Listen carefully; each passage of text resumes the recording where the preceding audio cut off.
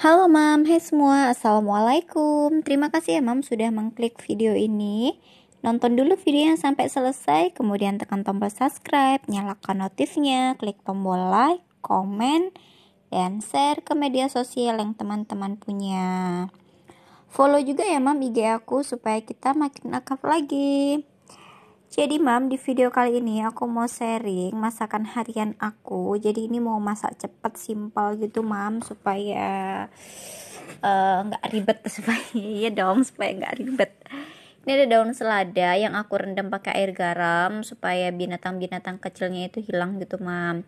Kemudian ini ada terong yang udah aku potong serong kemudian rendam pakai air juga supaya nggak berubah warna ini ada telur yang udah aku rebus tuh jadi waktu ngupas itu ada yang gak cantik gitu mam. Kemudian ini ada daun kemangi. Daun kemanginya udah seminggu jadi kayak gini deh mam. Udah nggak terlalu seger banget. Kemudian ini bumbu-bumbunya bawang merah bawang putih kemudian cabai merah keriting yang nanti mau aku blender pakai air. Gitu. Oke mam lanjut langsung aja ke eksekusi. Ini terongnya aku goreng udah pokoknya di ter uh, terongnya digoreng aja pakai minyak yang lumayan banyak supaya langsung sekali masuk ini terongnya. Dan di sebelahnya itu gulai ikan patin yang kemarin mam masih ada gitu. Jadi aku tinggal bikin tambahan sambal gitu deh. Karena itu gulainya eh, nggak uh, basi. Kalau masak gulai pagi sore gitu dipanaskan ya mam supaya nggak basi gitu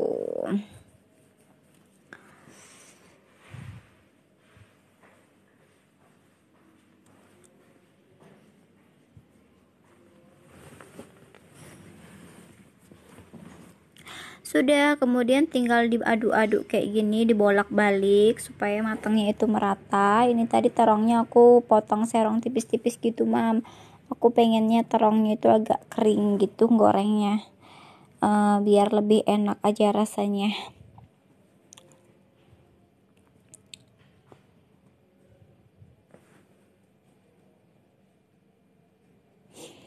setelah ini terong udah kering langsung aja mam diangkat terongnya tuh. Jadi kelihatan ya mam ya kalau udah kering itu dia berubah warna dan uh, lebih kecil gitu ukurannya.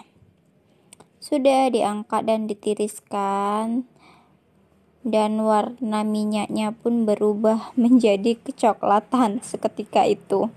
Ya sudahlah nggak apa-apa Udah setelah ditiriskan ini minyaknya mau aku pakai lagi lanjut untuk ngegoreng uh, telur yang udah aku rebus tadi tuh. Jadi karena aku takut goreng telur uh, meledak-meledak gitu mam jadi apinya itu aku kecilin gitu ya matangnya memang agak lama cuman daripada nembak ke mana-mana ini minyak jadi ya sudah deh dan itu pun telurnya ada yang kurang bagus kayak waktu ngupasnya itu kecewel kecewel cewel gitu deh pokoknya mam.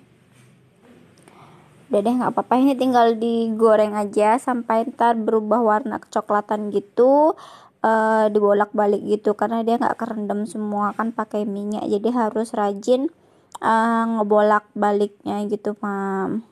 Aku sih suka banget sama telur uh, kayak gini di balado mam. Ini nih rasanya enak banget dan ngangenin menurut aku ketimbang telur dadar atau telur ceplok telur bulat goreng uh, telur bulat kayak gini lebih enak aja kalau dimasak sambal lado.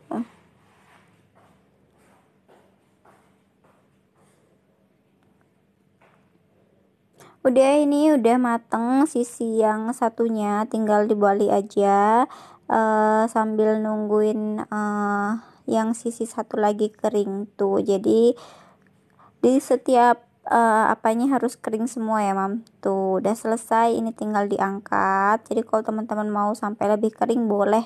Tinggal ditambah waktu memasaknya aja. Cuman kalau aku udah segini aja udah cukup dan alhasil si minyaknya pun berbuih. Kalau goreng telur selalunya minyaknya berbuih ya mam udah kemudian itu minyaknya tadi udah aku kurangin cuman masih banyak aja. Di sini aku pengen sambal lado itu yang glowing jadi yang kayak uh, di rumah makan Minang itu mam.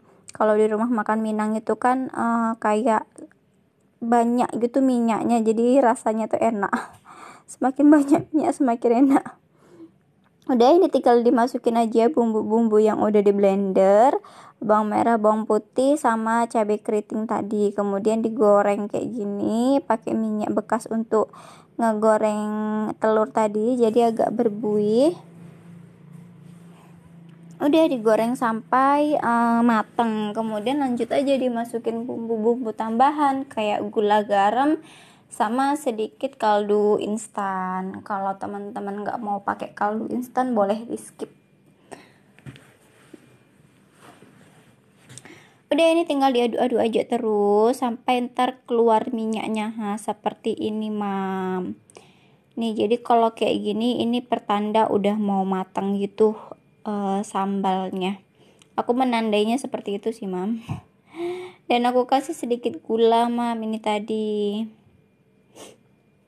terus tambahin deh lagi garamnya sedikit karena kurang uh, asin gitu sih menurut aku. Udah tinggal diaduk-aduk lagi supaya uh, garam sama gulanya tadi merata sempurna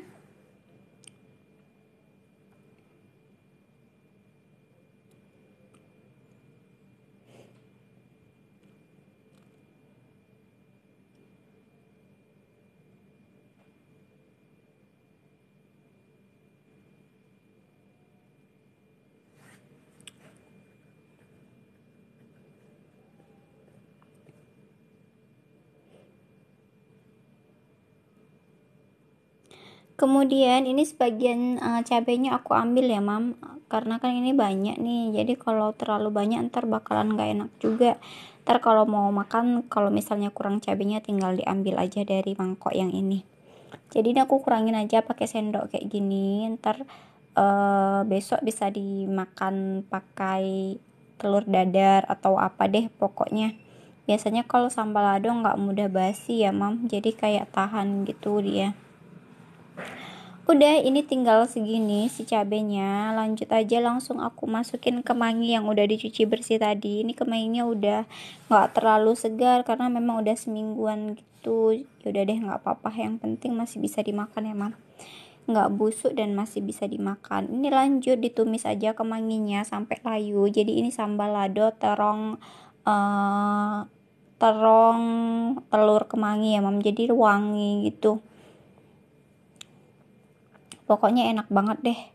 Kalau sambal dikasih kemangi kayak gini.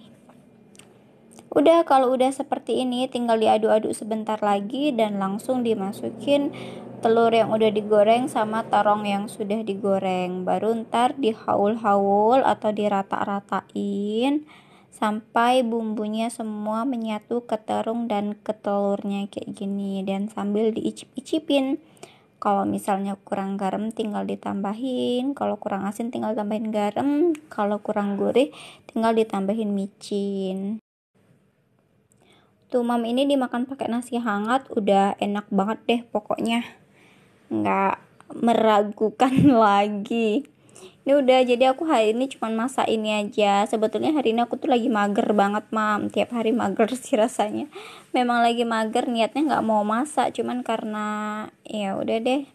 Daripada harus jajan terus menerus lagi pun di kulkas banyak bahan masakan ya udah akhirnya aku masak.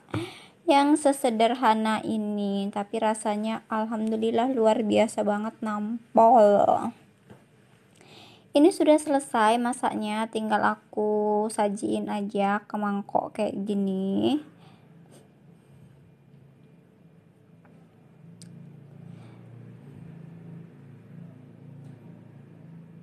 tuh jangan lupa semua cabenya diberesin pokoknya deh Oke baiklah mam, sekian dulu video dari aku. Mudah-mudahan videonya menginspirasi buat teman-teman semuanya. Mudah-mudahan video yang bermanfaat. Terima kasih yang sudah menonton sampai selesai. Jumpa lagi di video-video selanjutnya. Salam manis dari kami, Mam Lilis Andi. Assalamualaikum. Bye bye.